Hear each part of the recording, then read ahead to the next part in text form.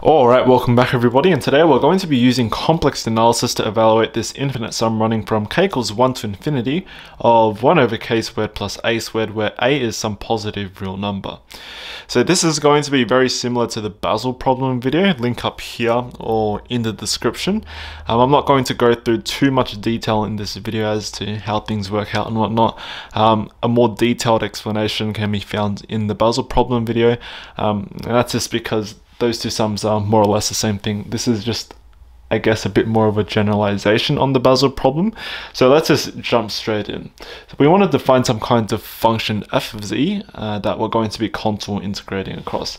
And whenever you're dealing with sums like these, a nice function to choose is f of z being equal to pi times the cotangent of pi z multiplied by whatever's inside the sum, but replace your index with z. So we're going to have z squared plus a squared instead of k squared plus a squared. And um, I guess what this function outside here does is it gives you poles at the integers.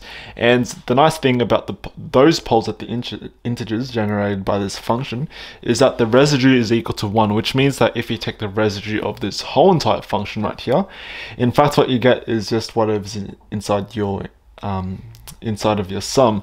So I guess a quick demonstration of this, if you take the residue at z being equal to k, where k is some integer of the function f of z, what you get, well this is a, well all, all the poles at the integers are simple poles, so you can just use the definition for the simple pole residue, so the limit as z approaches each of those poles, so z approaches k, of z minus the pole, so z minus k, times the function f of z, which is pi times the cotangent of pi z, times 1 over z squared plus a squared.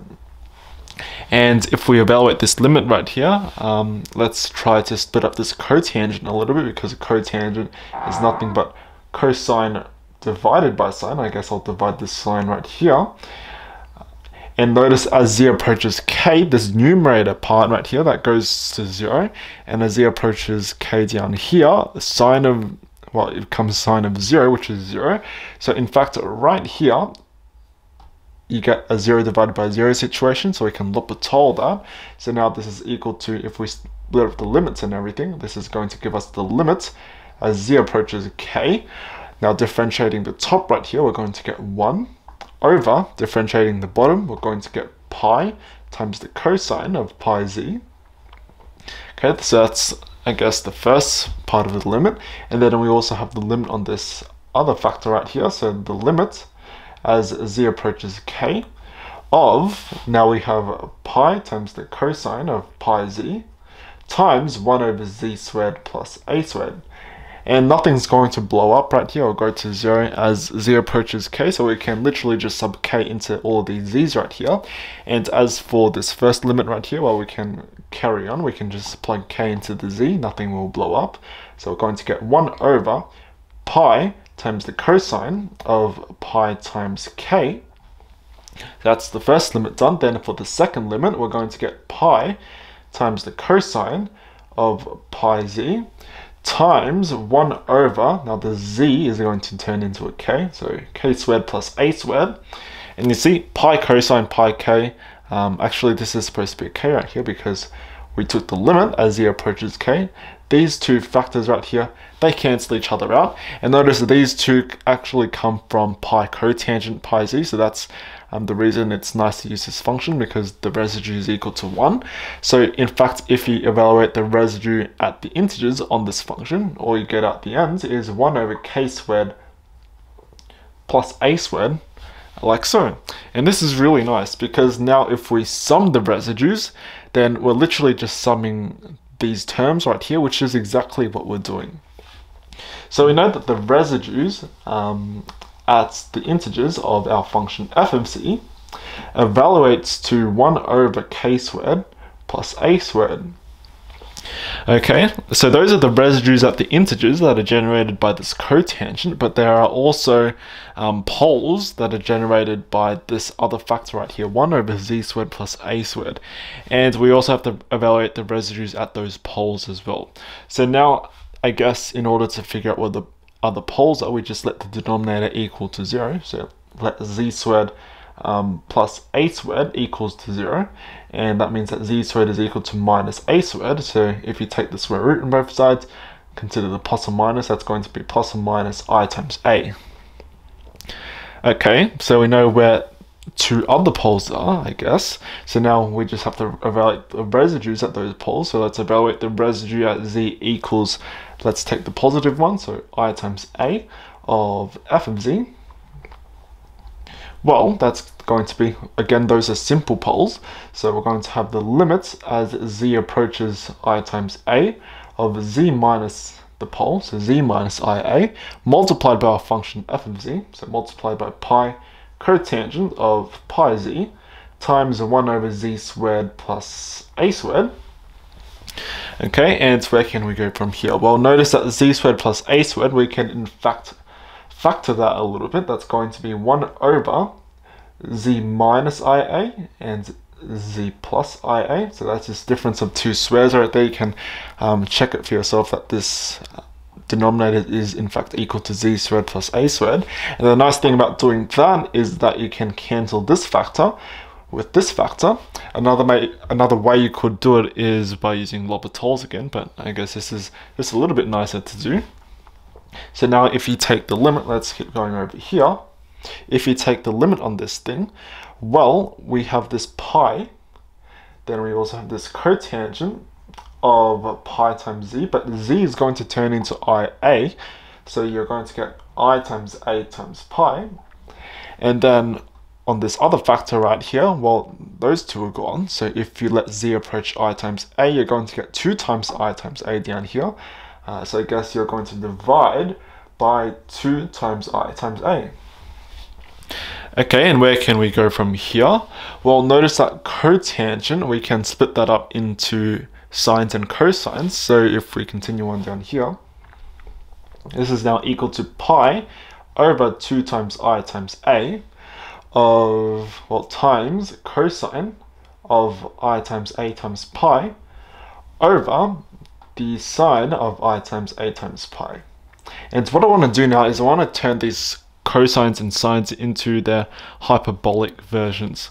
So for the cosine, if you want to turn cosine into hyperbolic cosine, what you do is you get rid of this i, but you can't just get rid of that i, you just you have to turn the cosine into cosh. So we get rid of this i and we turn the cosine into cosh, and then we have whatever's remaining.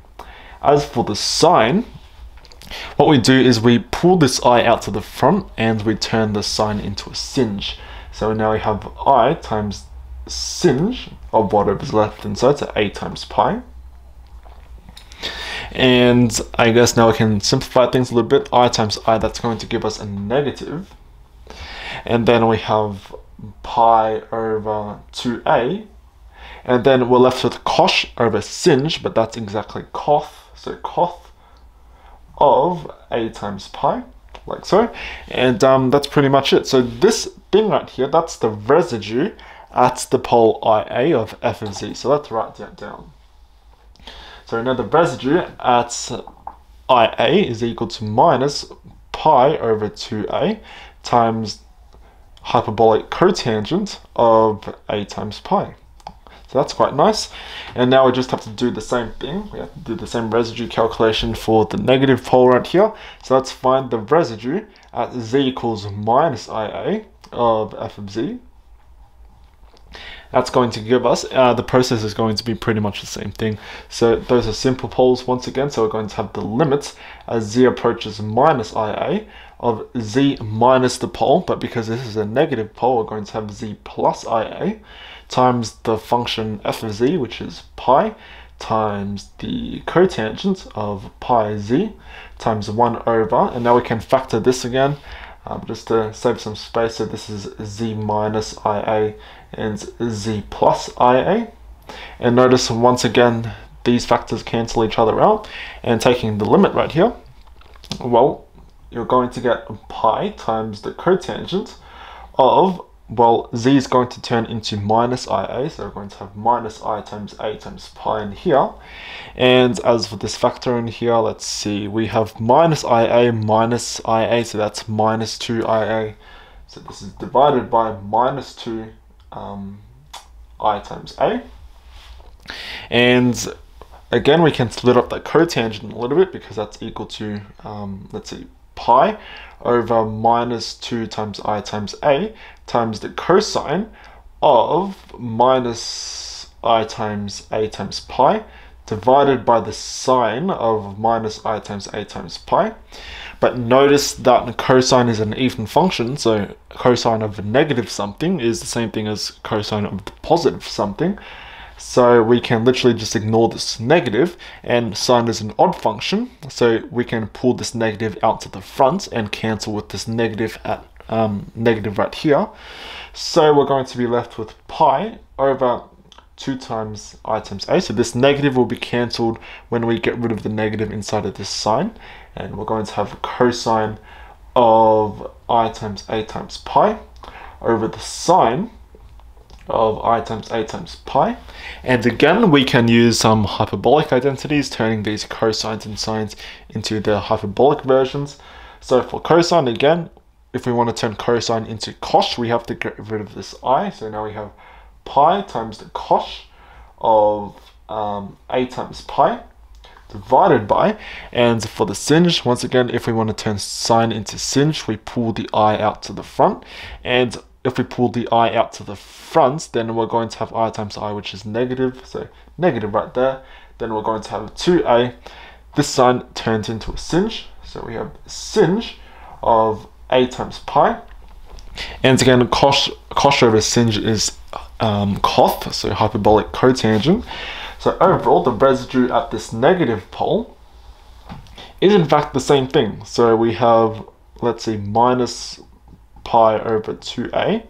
So it's minus pi over 2a cosh over sinh. That's coth of a times pi.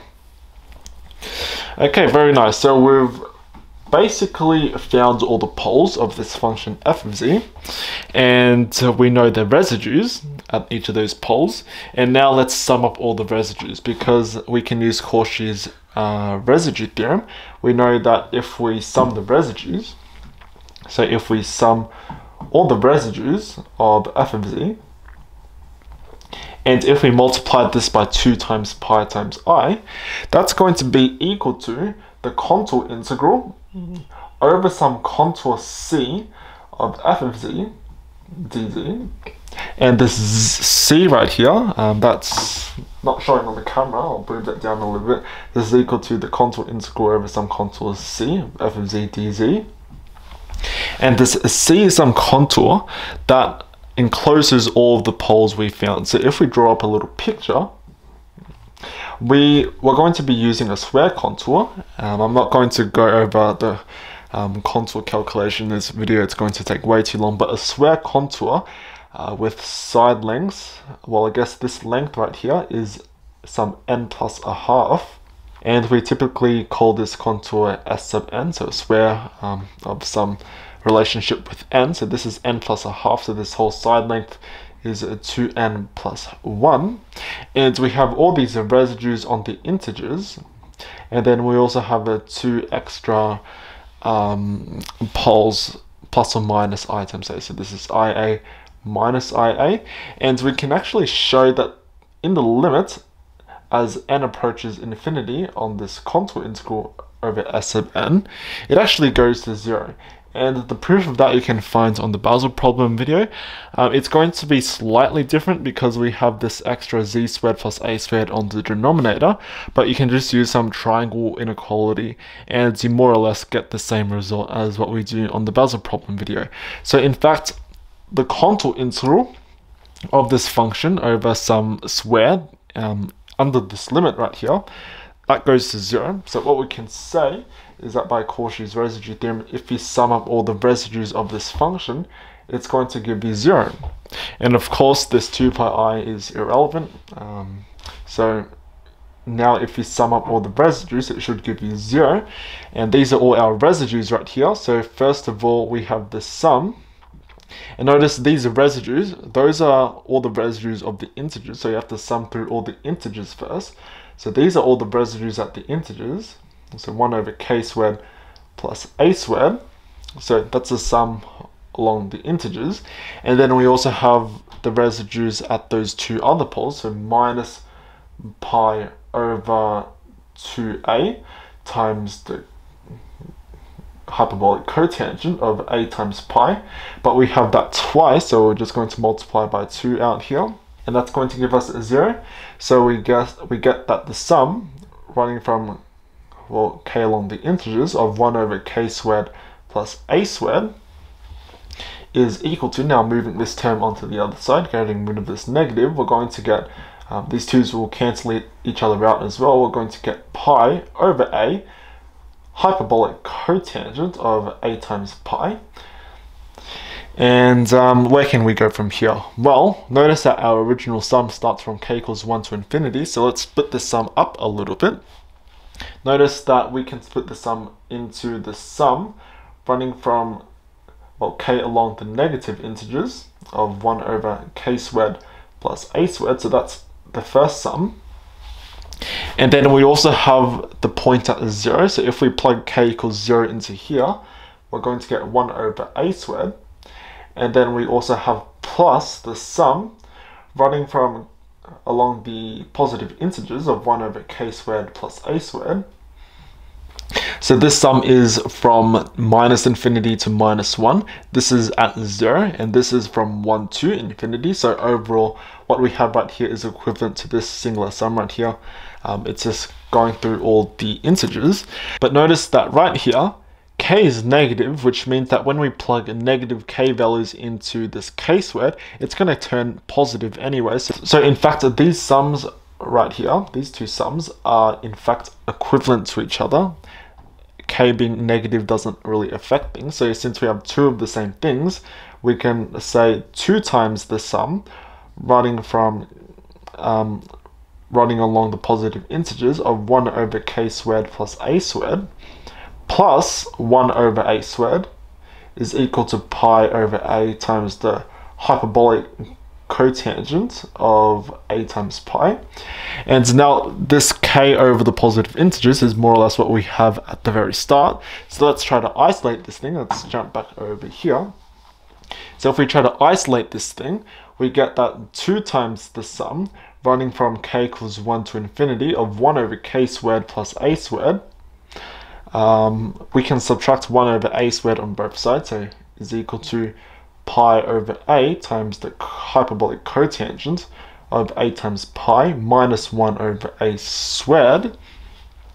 And last thing to do is divide everything by 2, so now we get that the sum running from k equals 1 to infinity of 1 over k squared plus a squared is equal to pi over 2a times the hyperbolic cotangent of a times pi minus 1 over 2a squared and this is the final result for today's video. So this is quite an interesting result. We have this hyperbolic function which kind of pops up, which is quite interesting. Um, another interesting observation is that if you take the limit as a approaches 0, you do in fact get pi squared over 6, um, even though as a approaches 0 you get infinity right here, um, and you get infinity on the second term as well. But in fact what happens is that in the limit, these two terms right here, they approach infinity or they diverge at the same rate. So you do indeed get a constant out the other side, which is pi squared over 6. But uh, yeah, that's pretty much it for this video. Hope you guys enjoyed it, and I'll see everyone in the next one. Bye bye.